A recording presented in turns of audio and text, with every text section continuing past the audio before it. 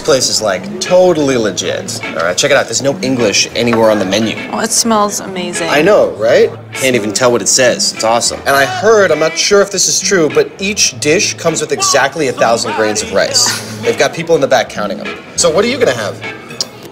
That. Help me! What? What? I thought it said something inspirational. Well, it's inspired me. I know what I'm gonna order now. All right, I'll get the wonton soup. Can I get a new shirt? Searching for something new.